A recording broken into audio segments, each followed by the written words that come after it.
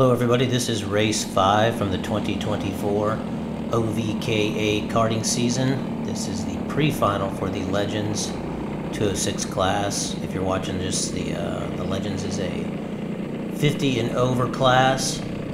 So any of you old guys out there watching, you know, we usually have a pretty good crowd. Although this day itself was pretty light on the go-karts. We had about, um, I think, seven that showed up um, I qualified six, but I think one of the um, one of the guys in front of me was not able to make the the races. I don't know if he had a mechanical or what the issue was necessarily, but that moved me up to fifth in the starting position. And to the right of me, I have a newer driver, and you don't actually see him. Uh, you see him on the track a little bit later, but you're not going to see him much. But this will be a quick video. This is a little bit of a discouraging weekend for me here. Uh, obviously, the weather's nice out there. Everything looks good. Um, basically for me, this is the uh, start and the end of the race for me right now. I will not catch anybody. I will not pass anybody. I don't believe in this pre-final. Um, I was just slower than everybody this day. I don't know what the deal was. If I just was rusty. I think the motor that I was using had really never been, um, I guess, tuned by uh, any of the, you know, the. You've got folks out there that will do some tuning on your go-karts. You've got the. Um, the Lawson motors out there. You've got some Ghost Racing motors. You got some Boganators out there. Uh, the Beyond the Carts guys have started to do some motors. I think Mark Cirk is another guy that will uh, tune some motors. But I think I was running a pretty much somewhat fresh out of the box motor. But as you can see, I'm going to trim. This is going to be a video. This video will have both the pre-final and final in it. And the runtime is going to barely be 8 minutes. So there wasn't a whole lot of what you would call action in this race. We're coming around. I just trimmed out all the middle. We're coming to the. Um, I think we're coming up to the, uh, the, the checkered flag pretty soon. I think the only action you could see it up ahead, uh, maybe a lap or two back, was the 318 who is in front of me now. He was battling for second place, and when you're watching the video, if you look ahead, again, this happened probably about a half a lap or a lap or so ago but going into turn three, I don't know if he made a little bit of contact with the 84 who ended up finishing second, but he shot through the grass and ended up going from third to fourth, so he lost a position. So as you can see, it's a, I think pretty much the same starting grid that we had for the pre-final. We're going to go out on the final. This was a 12 lap race, I believe. So by G&J standards, it's a, it's a little bit of a long one. Still, you're going to race for probably in the 11 minute range. I think most of these laps are in the mid 40s, second wise. I think I ran like in the 47s. Everybody else is running in the 46. Everybody in 46 is up in front of me. I was just slow, so again, not a fun day. This was making me uh, scratch my head by the end of the day because I'm pretty sure I rolled in that day thinking, oh, I'm going to be relatively strong. At this, at this point in the season, I had finished uh, second in one race. I think I finished five out of ten in another race, but my times were relatively close to the uh, fellas in front of me.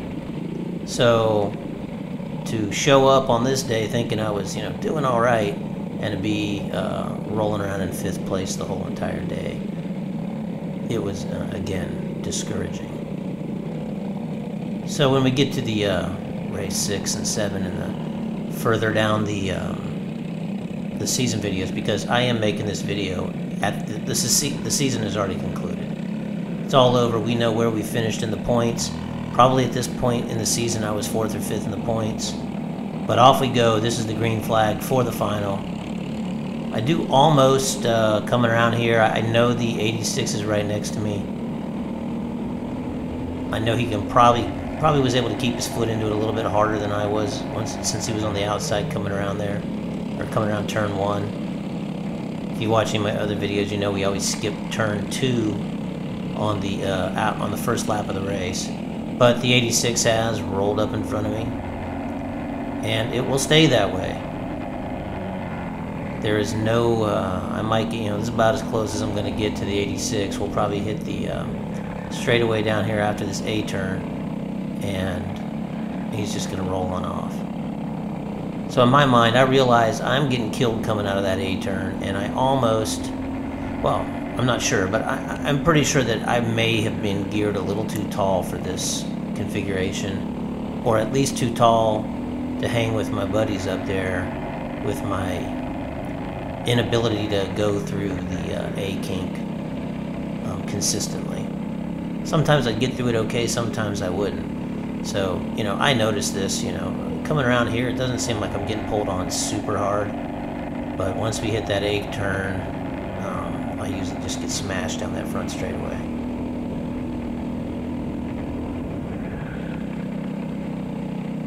But again, as I mentioned, this is the Legends class, so if I've got any viewers out there that are in the Ohio, Indiana, Kentucky region, even Illinois is not, you know, there's people coming over from Illinois here and there.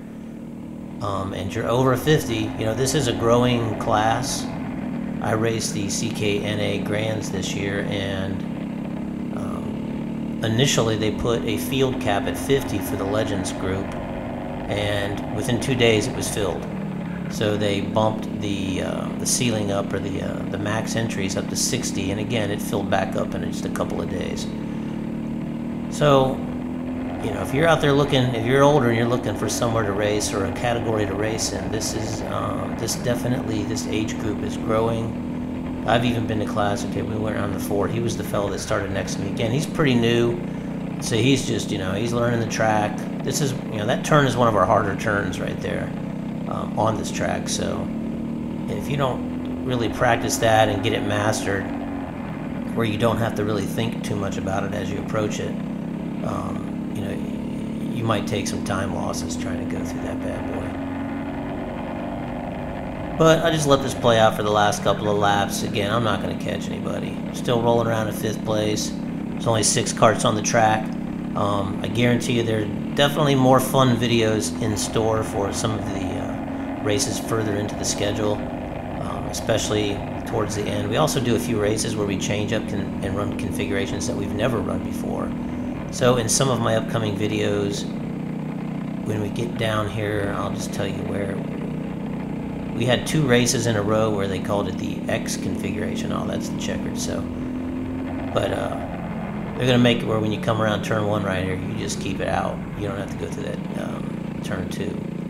So those races were a lot of fun. I thought when they made that change, and those will, those will be forthcoming videos. So that's it, everybody. I started fifth, ended fifth, started fifth, ended fifth. Not a good points day for the uh, championship points. So again, I had improvements to make after this, so stay tuned to see if I make them. Have a good one, everybody.